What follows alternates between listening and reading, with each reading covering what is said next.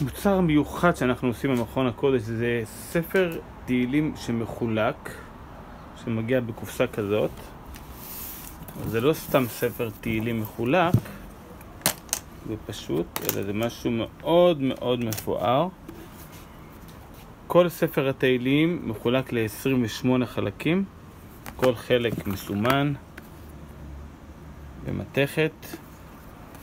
כל הספר תהילים מחולק ל-28 חלקים, ואז אנשים יכולים להתחלק ולקרוא את כל הספר התהילים בפעם אחת. זאת אומרת, 28 אנשים או פחות, כל אחד ייקח שתיים.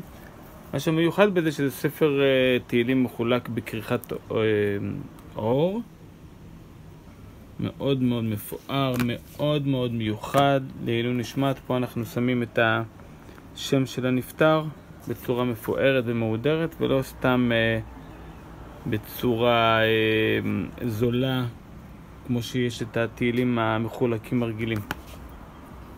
מאוד מפואר לכבוד דוד המלך עליו השלום. עשינו משהו מאוד מאוד מפואר ומיוחד שתוכלו להעניק לעילוי נשמת יקיריכם.